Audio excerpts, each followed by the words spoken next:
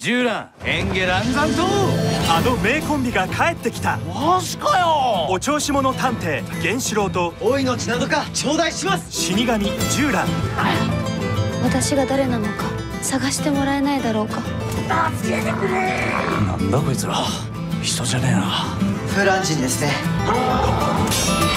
また面倒ごと引き当てちゃったよかいゆらりハテナなんてどうだろう。女の子の名前ですよ花はどう？噛まれてる。このままだとフランチになってしまう。こいつの本当の姿が見えるのはお迎えが近い人間だけ。滅亡の時まで震えて眠る。西野さんあんた空襲を止めるんだ。こんなことが続けば本当に国は滅ぶ。じゃあバカ二人でやるしかないか。いいぞ